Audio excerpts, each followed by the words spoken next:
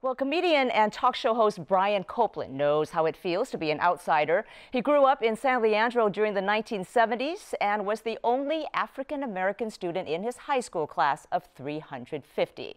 As a kid, he weathered physical abuse from his father, discrimination by local police, and efforts by a racist landlord to evict his family from their apartment. He shaped those experiences into a one man show, Not a Genuine Black Man. The 10th anniversary production opens this week at Berkeley Rep.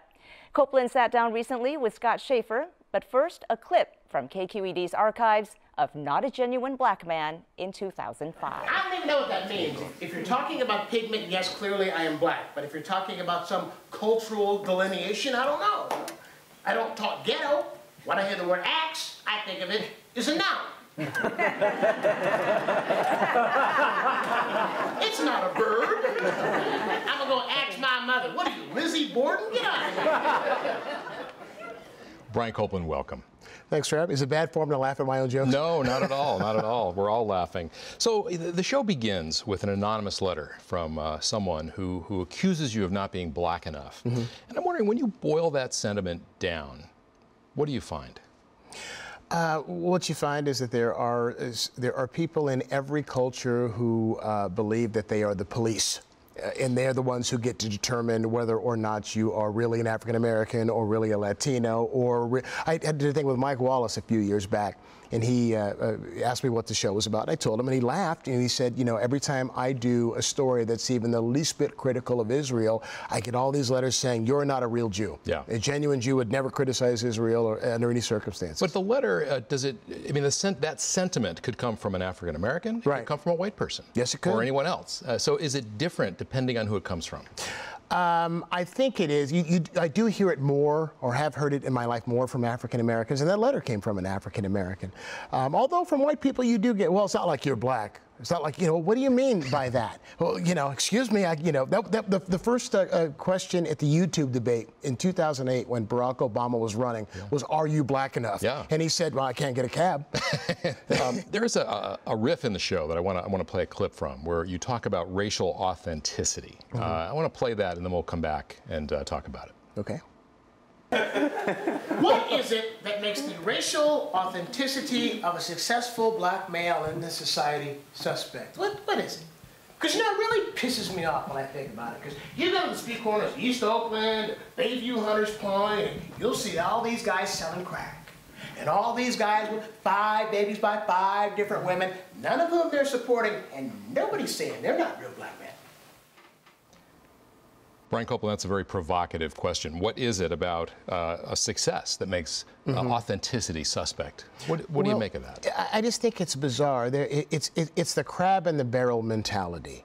Uh, that in, in some way, if you have, have uh, transcended your, your origins, you are in some way selling out. Um, and I just found that fascinating that they will point, for their folks who will point at a Bill Cosby, for example, and say that, you know, Bill, Bill Cosby's not really black because of what it is he's done and achieved and accomplished. However, you know, if, if Bill Cosby were standing on a street corner selling crack, they might say other things about him, but they'd never say he's not black. And I just find that to be bizarre. You know, yeah. what is it about success that that is uh, that is somehow a betrayal of your culture? I don't get it. Yeah, this show is told much of it through the through the eyes of an eight-year-old boy, mm -hmm. you, uh, living in San Leandro back in the early '70s, uh, and it has some of the most difficult uh, themes: uh, domestic violence, your father knocking your mother against the wall, uh, your attempted suicide, and yet it's very much interwoven with all that is humor. Mm -hmm. Talk about that juxtaposition.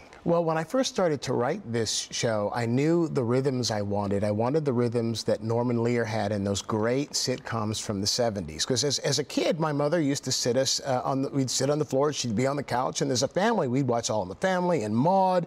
And remember how like All in the Family was really funny, and then Edith got raped. And this is a sitcom. It's like, where did this come from?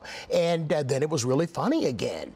Uh, and that's how life is. And so I watched the first two seasons of All in the Family, and that's how I came up with this. You know, one minute you're laughing, then you're kicked in the gut. And then you're laughing, then you're kicked in the gut. I dig a great big hole, and right before I come to the other side of the earth, I say something funny and I pull you out of it.